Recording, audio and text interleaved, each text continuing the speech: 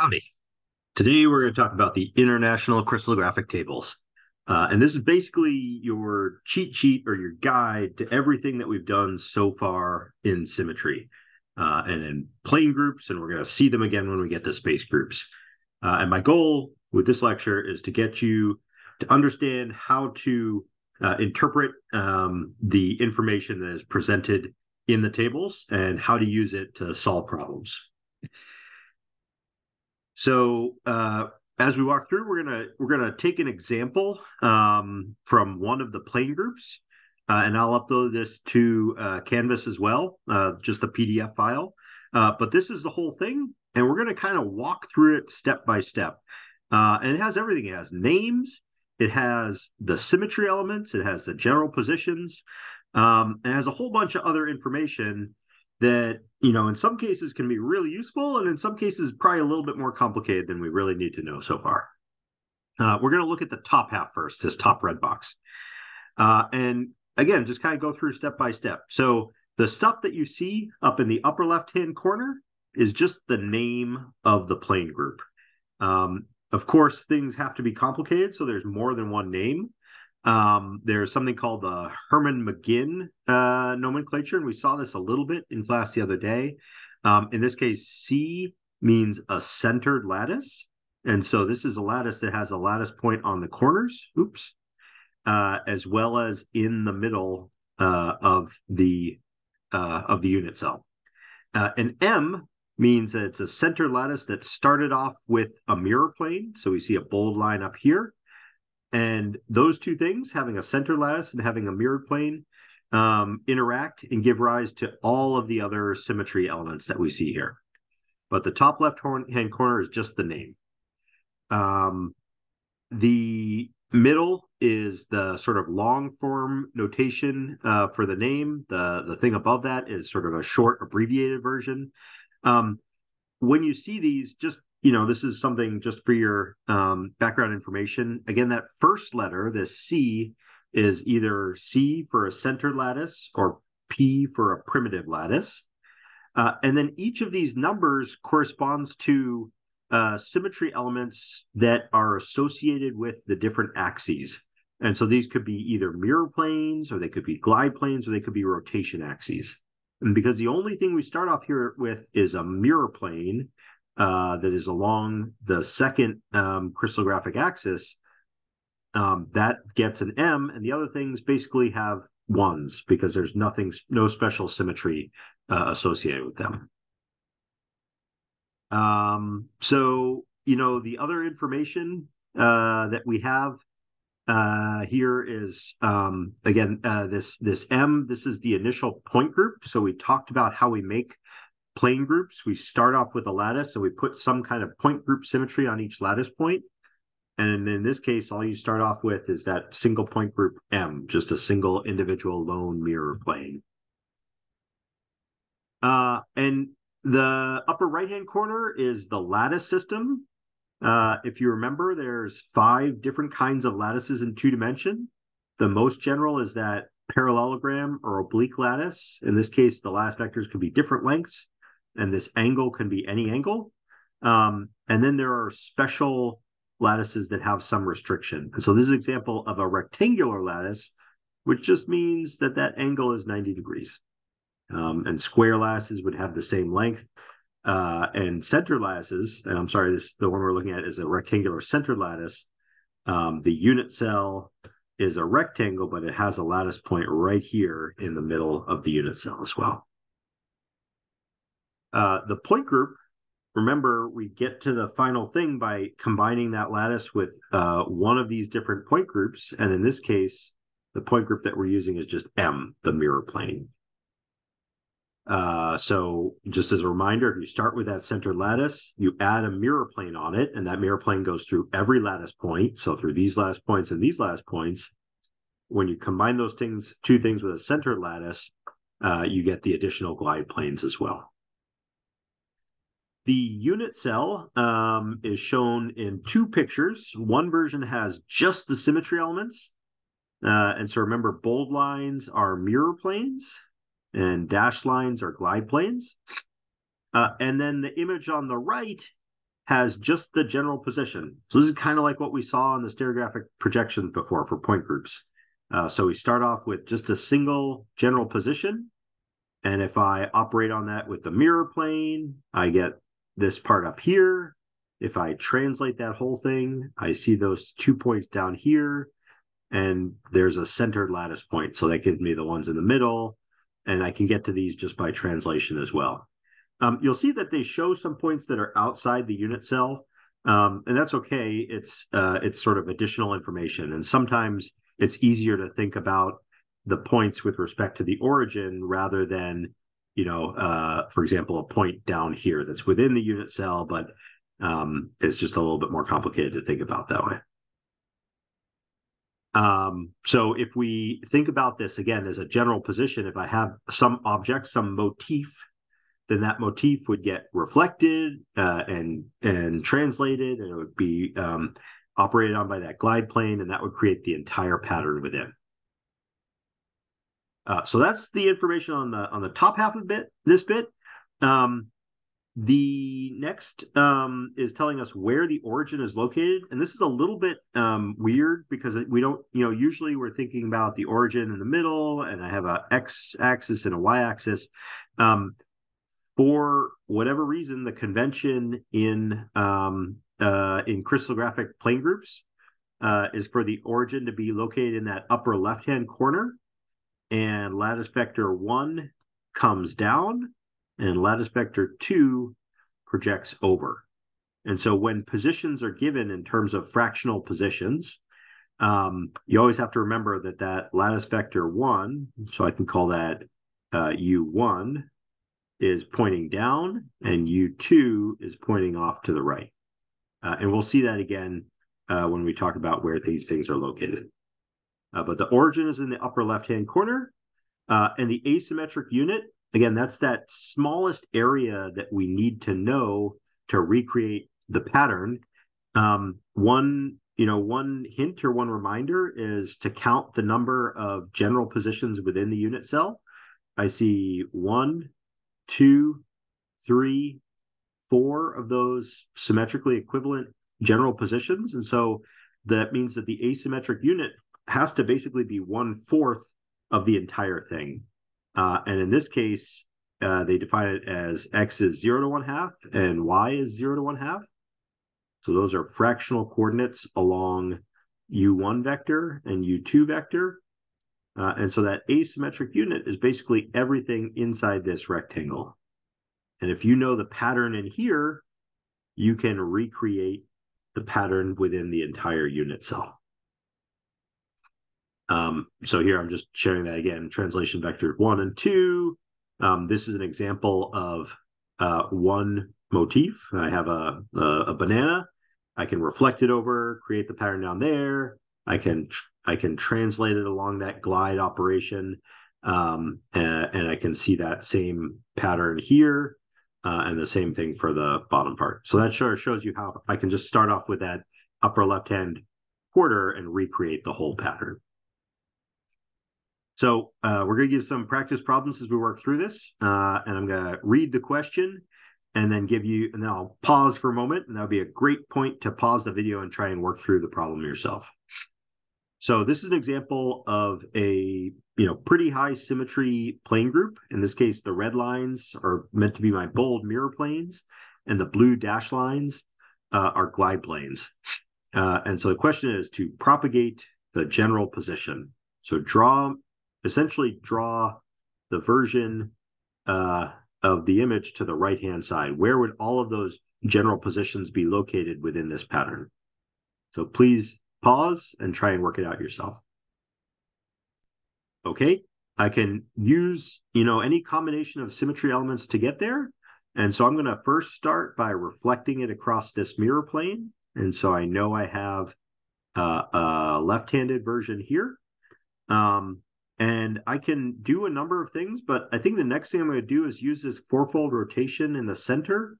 And so those two get rotated 90 degrees over here and this one would be left-handed. It gets rotated 90 degrees again, so it would end up down here. And again, I got to make sure I keep track of which one's left-handed.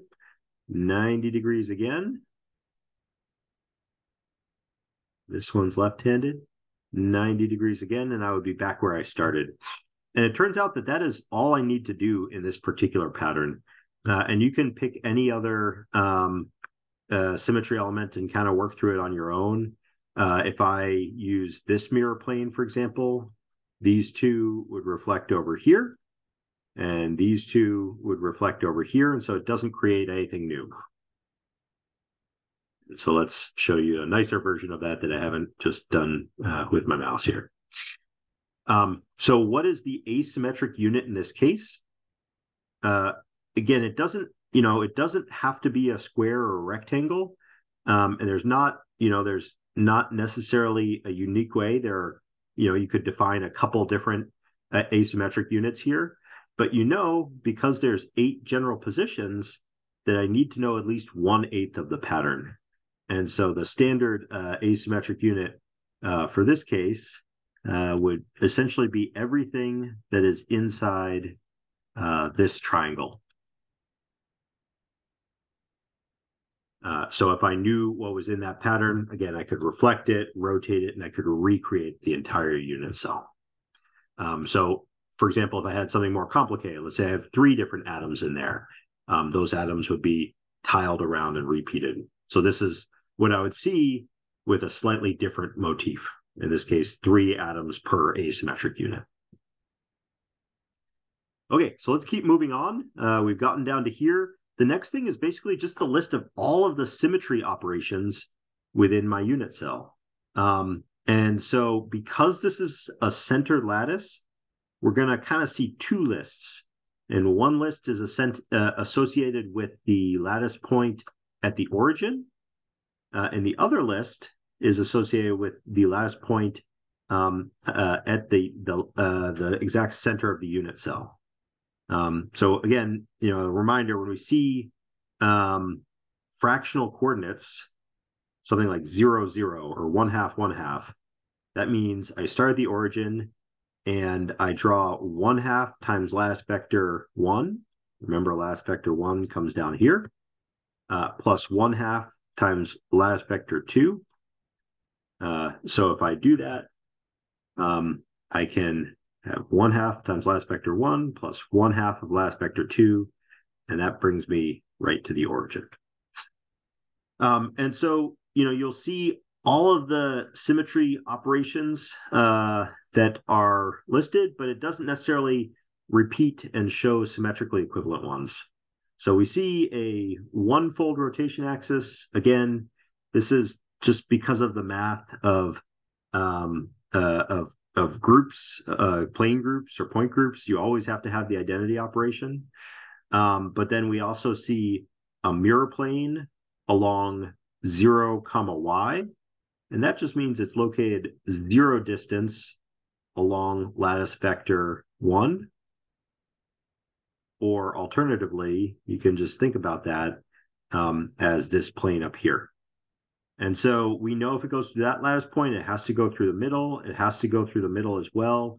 We don't write the positions of all of those other mirror planes because just defining a single one is sufficient. Um, the symmetry operations that are associated with that middle point um, are uh, T one half, one half. That's just the translate, that's the centering operation. And so that basically it, uh, occurs every time I have this center lattice. Uh, and then B is the shorthand notation for a glide plane. Uh, and the, the letter B basically just means that the glide direction is along lattice vector 2. If the glide, you know, if the translation component of the glide plane was along lattice vector 1, it would be called an A glide. And if it was, you know, in three dimensions along last vector 3, it would be called a C glide plane. Uh, and that's lo- located at one quarter y, or a quarter of the way down last vector one, and it's all the way along that. So that's referring to this glide plane here. So again, most important thing that you need to take away from this box is just it gives you the full list of all of the symmetry operations within uh, the unit cell. Um, oh, and here I'm drawing them in colors, which we can't see because I've already scribbled over it. Okay, uh, next, the generators. Remember when we were talking about groups, if you you can just start out with a minimum set of uh, symmetry elements and they can interact and recreate all of the components in there. Uh, and that's what this list is. And so we always have the identity operation. Uh, in this case, these two are just the translation vectors. So because it's a plane group, we have to have two uh, lattice vectors that are translation vectors. Um, this next one here, T one half one half, is that centering operation. Uh, and the final thing, uh, parentheses two, is referring to this initial mirror plane. So if we just start off with those translation vectors and the identity operation and that mirror plane, we get everything else. And really, there aren't a whole lot of new things generated. The only thing that was created was that uh, glide plane. Um, but if I look at a more complicated example, this is a thing with a lot of symmetry. You know, you can list all of the different symmetry operations that are there. There's mirror planes, there's six-fold rotation axes, there's three-fold rotation axes, there's more mirror planes. Um, there's a whole lot of symmetry operations, but again, we get there from just a relatively small number of generators. And so, again, in this case, the generators are the translation vectors, um, and this threefold, and number four is a twofold, and number seven is a mirror plane. And just having those few operations alone, they interact and they create new symmetry operations. And that gives you all of these other uh, elements that are contained within this plane group. Okay, so we've gotten through the first half. Now we want to talk about the bottom half a little bit. Um, and the bottom half, the most important thing that we're going to talk about here is the Wyckoff positions. Um, and the Wyckoff positions are basically the different kinds of places that atoms could be located in this plane group. Um, and so uh, they always start off with the general position up top. Um, and they include um, special positions.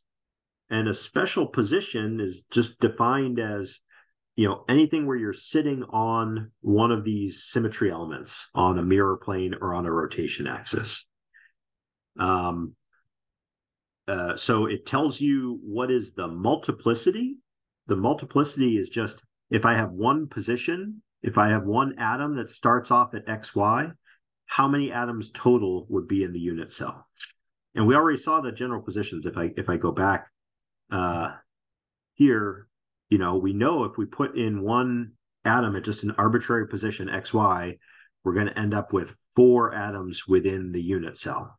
So that that's what this number four here means. Um, the other, the next one, the special position. If I start off and I put a plane any uh, an atom anywhere along the coordinates zero y, then that's sitting on a mirror plane and the multiplicity is two. So that's essentially what the Wyckoff positions are telling you. They're telling you the multiplicity. If I have one atom in these positions, how many total do I have in the unit cell? Um, the the next letter is just the name, and it basically it starts at A at the at the bottom and it works its way up. There's only two, so the the bottom one is A and the second one is B. The third thing is what symmetry element is it sitting on? So the arbitrary position here, it's not sitting on anything special. So we say it's sitting on this one fold rotation axis. Uh, and then the final thing is what, uh, you know, if I start off at some position XY, where are the other symmetrically equivalent atoms? Now, just to kind of show what it means to be on a general and a special position, let's let's say I start off here, but instead of here, maybe I wanted to start off a little bit closer to this axis. Remember, this axis is a mirror plane. And let's say I start off a little bit closer. So every time I scooch this position up, this one gets scooched a little bit down. This one gets scooched a little bit down, and this one gets scooched a little bit up. And when I have it, so this initial atom is sitting right on that mirror plane, you see those two positions that used to be two separate points, they merge and they sit on top of each other. And and that's what happens when we go from this arbitrary, you know, general position to this special position. The two are sitting on top of each other. And so the multiplicity, the total number of those sites within the unit cell is now two. I have one that's entirely in the unit cell. Half of that is in the unit cell. Half of that is in the unit cell. And that gives me a total of two. And to be on that special position, you need to be sitting somewhere along this mirror plane. And the, the coordinates of an atom somewhere along this mirror plane, they have to have zero of this lattice vector one, and they can have any amount of this last vector two. And so that's what this zero comma y means. Um, just as a side note, if, if we have an something, some object, some molecule or some atom that is sitting in that special position, it has to at least have the symmetry of the position it's sitting in. It could have more symmetry, so it could have, you know, like a triangle has a threefold rotation axis, but it has to have that mirror plane symmetry if it's sitting on the mirror plane. Otherwise, this pattern would not have um, would not have that mirror plane there, so it's no longer in that in that plane group. Um, this is a, this is an ex- example of that. So this banana does not have a mirror plane down it, and so if I saw this pattern, it wouldn't have a mirror plane along here or here or here, and so it wouldn't actually be in this particular plane group. Okay, so let's think about it um, for a second, let's think about this multiplicity and let's work through a multiplicity problem.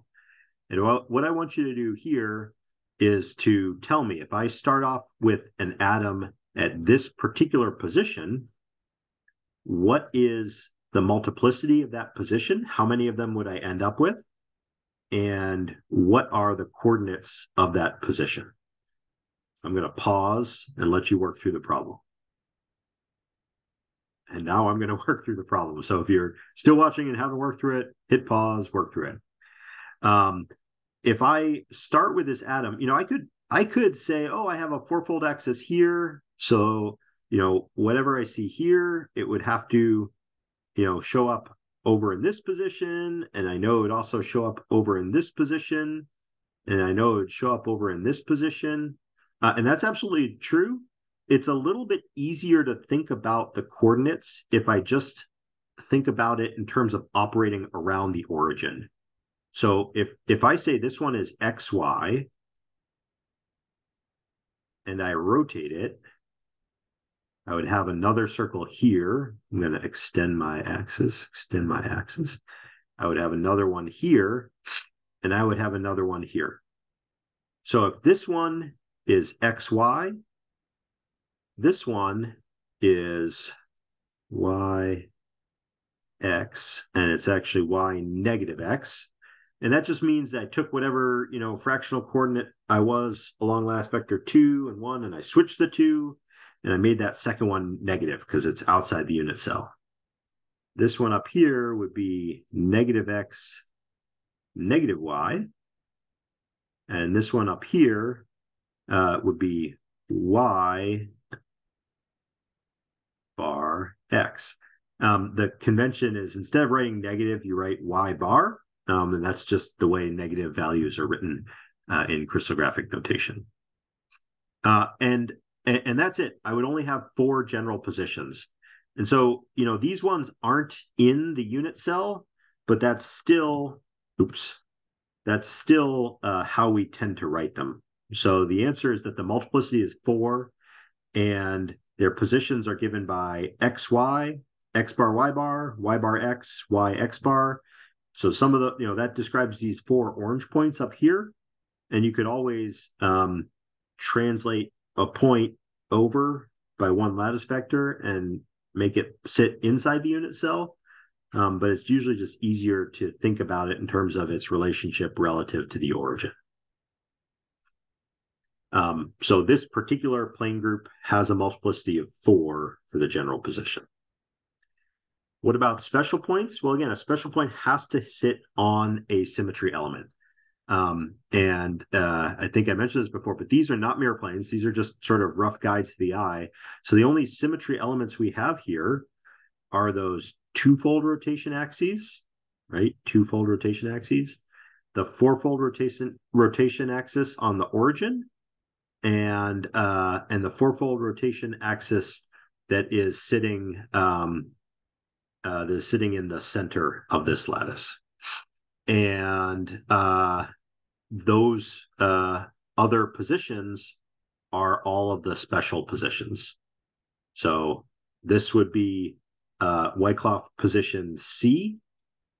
The multiplicity is down to two because each of these is on the edge of the unit cell. And so if I add up one half plus one half plus one half plus one half, that gives me two of those positions within the unit cell. Um, the next special position is the green one sitting right in the middle. There's only one of those, so the multiplicity is one. And the next one would be the fourfold rotation axis on the origin. There's only, um, again, uh, it's on the corner, so I have a quarter, uh, a quarter of each of these corners uh, is actually within the unit cell. And so if I add those all up, I get uh, a multiplicity of one. Whoa. Uh, okay, so yeah, just as a reminder, this first column is the multiplicity, how many of that kind of point uh, are present. The second column is the name of the Wyckoff position. The bottom one is always A, and it just works its way up, A, B, C, D. The next one is what is the symmetry element that that position is sitting on. So this one is general. It's not sitting on anything special. This one's on a twofold rotation axis, a fourfold or a fourfold rotation axis. Uh, and then the final thing is what are the coordinates of that particular position? And in this case, those uh, those twofold rotation axes, they're at very specific positions, one half zero and zero one half. Um, these four general positions are, you know, uh, if I start anywhere at some fraction and some fraction, so let's say I started at, you know, a quarter and an eighth, maybe that's about where this is, then I can figure out what all the other positions are there just based on, um, you know, uh, x is a x is a quarter, y is an eighth, and you switch those around and you make them negative, and that can give you all of those other positions. Okay. Um, here's another reason why Wyckoff positions are helpful. If we know a point group or a space group, and we know where the atoms are sitting within that point group, or that plane group, or that space group, then we can very quickly decipher what is the overall composition of the structure because we know how many are at one position and how many are at another position. So you know, one way to think about this is if I gave you this problem, I said, okay, here's a plane group, and there's a blue atom sitting here, there's a yellow atom sitting there. Tell me what is the composition of this? And you could do what we've done before. You could take it, you could say, oh, there's a threefold rotation axis. So I know I have to have a yellow atom here, a yellow atom here. You could work through all of these. You could create um, the map and draw them all. Um, but that's the hard way to do it.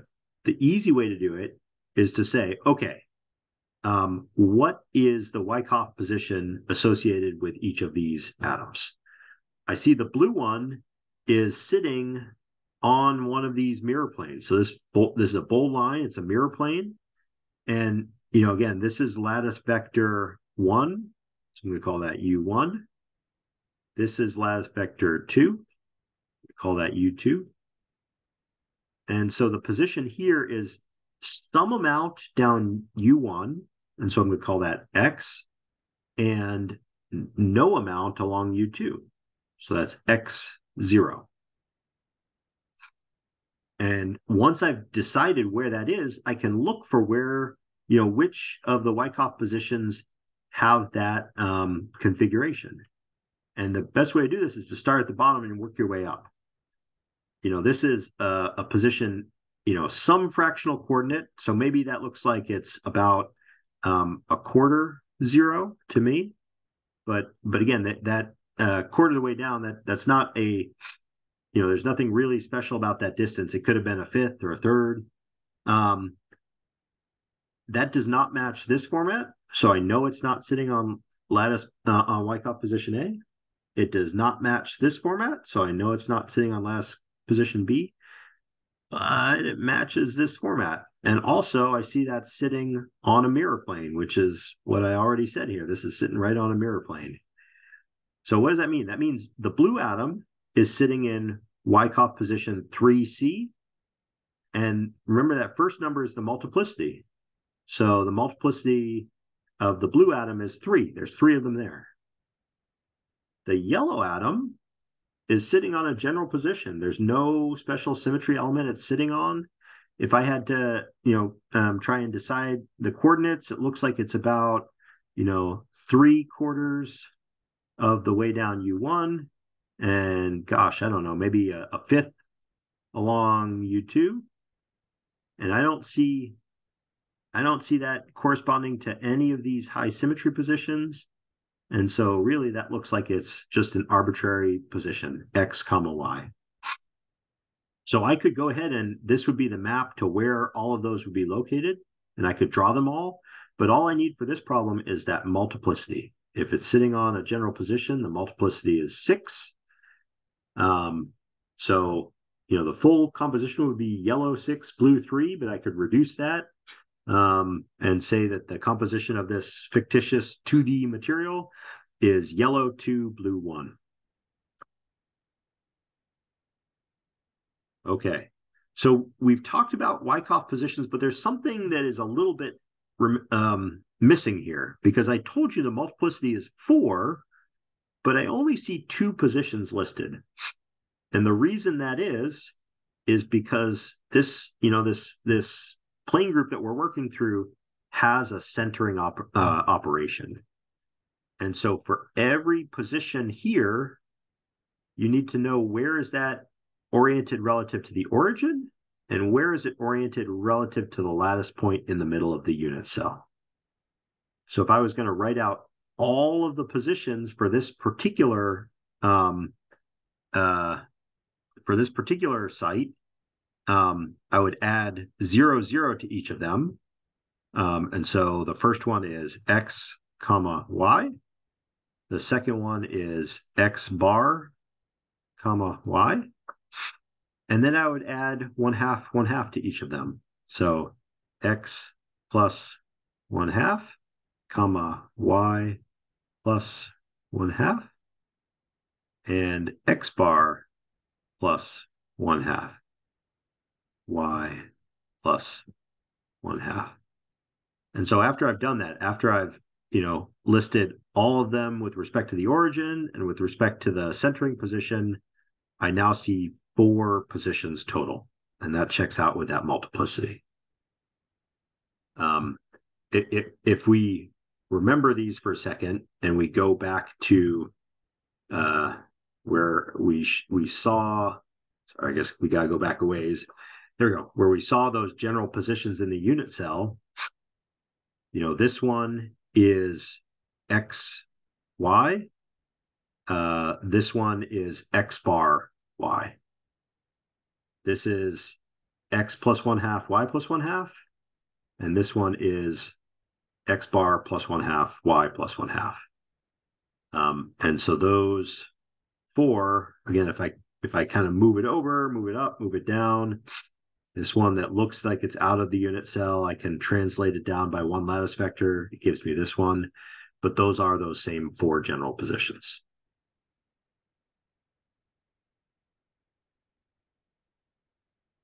Okay. Um, the next things I'm only going to just touch on briefly because uh, it's, you know, we're getting a little bit in the weeds of symmetry now. And it's the idea of subgroups and supergroups. And what you need to know about that is that, you know, I can map out these different point groups or plane groups, and I can think about them as starting off with, um, you know, with something with basically no symmetry. So we always have, you know, one point group one. There's no mirror planes. There's no rotation axes, and then I can add symmetry operations and get to groups that have higher orders of symmetry. Um, and so this first line is saying, okay, I could add a mirror plane, or I could add a two-fold rotation axis, or I could have three-fold rotation axis. But these these three groups have that's all they have: mirror plane, uh, two-fold, or three-fold operation. Um, I could then add additional symmetry. Um, so, for example, if I have a mirror plane and I add a second mirror plane, um, this is a, a problem that we saw before when we were talking with point groups. If I have two perpendicular mirror planes, it automatically creates this twofold rotation axis along the line that they intersect with. Uh, and that means that just by adding, you know, that one symmetry element, that bumps me up to a group with more symmetry. Alternatively, if I started here and I removed one of those things, like let's say I removed this mirror plane, I can't just remove the mirror plane. I have to remove that twofold rotation axis as well. And that would bring me down here to M. So a supergroup is if I started out at this level and I added an element, got to something that had that base amount of symmetry, but then a little bit more, this purple uh, group, 2mm, would be a supergroup of M. If I went the other way around, if I started off at 2mm and I removed a symmetry element, that would bring me down to M. And so M is a subgroup of 2mm. We could go the other way though. If I start off here and instead of removing um, removing the twofold, if I removed the rot- the mirror planes, I could drop down to a different subgroup too. Um, so, you know, these diagrams, they kind of show how the different um, symmetry groups are related. Uh, this is the one that is done for all of the the plane point groups. So the point groups that I can put onto these two-dimensional patterns. And again, if I go up, I'm going to a higher group of symmetry. This is the order of the group, basically a, a count of how much symmetry is there. Um, and so 2mm is a supergroup of two, or it's a supergroup of M. And that's really all you need to know about supergroups and subgroups. Uh, if I went even further, if I start off at 2mm, I could, instead of a twofold, I could I could add a higher rotation axis, a fourfold here, that would create additional mirror planes, and that would bring me up to an even higher order of symmetry supergroup, for mm. Uh, and just for fun, you know, this uh, this particular plane group we worked through, uh, this is an example of it. You also see it a lot in in different kind of brick patterns. Um, but I can very clearly see a mirror plane that goes right down the middle here. Those glide planes are a little bit harder to see, but if I start off with this scale and I shifted it up and reflected it over, it would give me this scale. And if I did that again, I would create this scale. So this is an example of the plane group CM. Uh, that's all for now. Uh, and if you have some problems, you know, go back and work through that again. I'm also going to place uh, post an example video where we're just working through a bunch of these plane groups. Um, so feel free to watch that and try and work through them yourselves.